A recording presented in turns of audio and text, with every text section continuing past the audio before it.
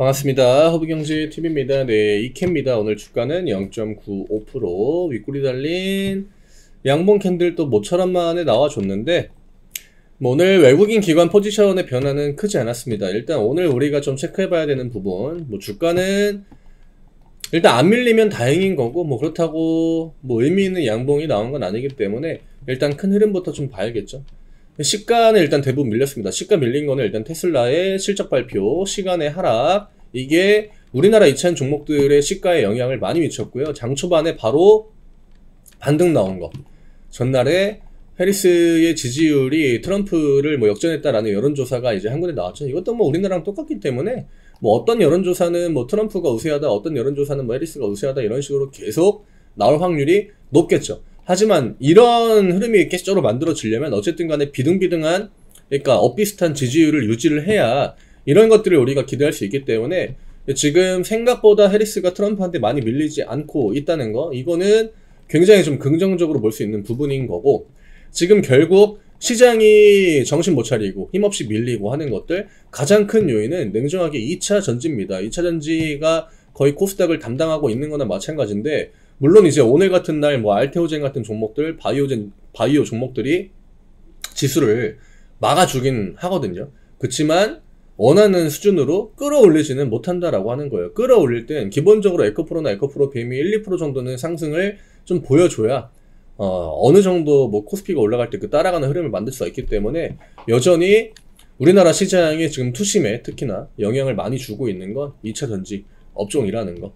내일은 실적 발표가 다시 또 이어집니다. 생각보다 테슬라의 실적에 대한 그 영향을 많이 받진 않은 것 같아요. 이게 그냥 시가 밀리고 테슬라가 장중에 시간에가 이제 또 더 밀렸기 때문에 미선물도 계속 내려갔거든요. 그냥 시가 밀리고 또 하락 나왔다라고 하면은 이거는 또 굉장히 또 큰 음봉이 나올 수 있는 날이었지만 시가 밀리고 해리스 지지율이 뭐 트럼프 이야기 나오면서 이제 위쪽으로 올라갔다가 테슬라 계속 내려간다 해가지고 쭉 밑으로 밀려 내려간 거여가지고 생각보다 오늘 주가 방어가 안 되진 않았습니다. 그렇지만 뭐 그렇다고 아직 완전하게 반등에 대한 시그널이 나왔다라고 보기는 힘들기 때문에 지금 저점을 계속적으로 확인을 해줘야 될 것 같아요. 뭐 이 가격대가 뭐 기술적으로만 놓고 본다라고 하면은 거의 밀려 내려올 가격까지는 다 밀려 내려왔거든요. 뭐 반등이 우리 뜻대로 나오진 않고 시장 분위기도 계속적으로 트럼프 영향을 받으면서 2주 동안 굉장히 힘들었거든요. 2차 전지만 밀린 건 아니에요. 반도체 중형주급 종목들 보면은 대부분 다 차트가 전저점이나 저점 구간에 붙어 있습니다. 삼전이 뭐 버티고 하이닉스가 버텼다라고 해도 그거는 지수를 컨트롤하기 위해 버틴 거지 반도체 애들 흐름이 좋았다라고 표현하기는 힘들거든요. 좋았던 거라고 해봤자 뭐 한미 반도체랑 뭐 하이닉스, 삼전 이렇게 세 개 정도 네, 특정 대형주 그런 것들을 제외하면은 기술주들은 일단은 이번 턴에 다 같이 밀렸다. 그리고 여기에서 트럼프의 어떤 그 영향력을 조금 줄여줄 만한 어, 해리스의 지지율이 좀 올라가는 그런 분위기 이런 것들이 조금 더 지속이 된다라고 하면은 뭐 오늘처럼 뭐 실적 때문에 중간중간 영향을 받기야 하겠지만 결국 반등에 대한 기대감은 계속적으로 좀 이어질 수 있다라고 하는 거죠. 오히려 우리가 하반기에 가장 걱정하고 있던 게 어쨌든 간에 트럼프였거든요. 근데 그때는 우리가 바이든이랑 그냥 트럼프랑 붙을 때는 트럼프가 워낙 또 유리하다라는 관측이 많았으니까 아 하반기는 정말 힘들 겠다 이런 생각을 많이 했지만 지금 변수가 생기지 않았습니까? 헬리스가 어쨌든 간에 예상외로 어, 괜찮은 지지율을 보여주고 있고 또 제가 이전에 이야기 드렸던 9대 9 너무 둘 다 늙었는데 바이든이 더 늙고 확실히 이번에 그 여론조사 나오는 그 뉴스 같은 것들을 볼 때 그 요인들을 보니까 나이가 굉장히 많은 영향을 미쳤던 것 같아요. 그 다음에 이제 나이로 인해서 사람이 좀 이렇게 인지력이 좀 부족해 보이고 그런 것들. 자기의 나라를 대표하는 사람인데 자꾸 중간에 헛소리하고 막 하니까.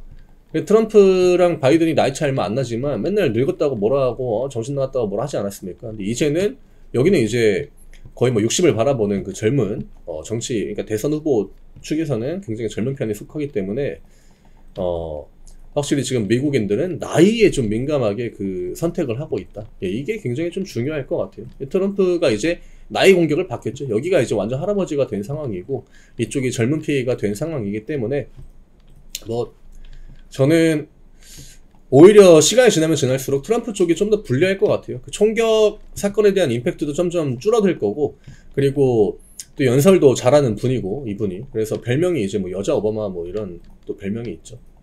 이 토론 같은 거를 해도 바이든이 일단 그 토론에서 첫 번째로 밀렸기 때문에 토론 같은 거를 해도 해리스가 크게 불리하진 않을 거란 말이죠. 또 해리스는 검사 출신이고 바이든은 또 어, 사업가 출신에 죄를 지었던 적이 여러 차례 있기 때문에 그런 구도들이 계속 만들어지면 일단은 해리스가 조금 더 유리하지 않을까 저는 그렇게 좀 보고 있긴 합니다. 물론 뭐 표심이 어느 정도로 이동할지는 모르겠지만 어 뭐 지난주에 예측했던 것처럼 해리스가 나온다고 뭐 트럼프한테 이기겠냐 이 정도까지는 좀 아니지 않나 그리고 해리스는 일단 기본적으로 친환경 쪽에서는 바이든보다도 더 우호적인 인물 중에 또 한 명입니다. 과거에 그런 그 정책 같은 부분에서 그런 의견을 많이 이제 얘기를 했었기 때문에 그런 거에 오늘 뭐 친환경 종목들이 좀 반응을 했다라고 봐야 될 것 같고요.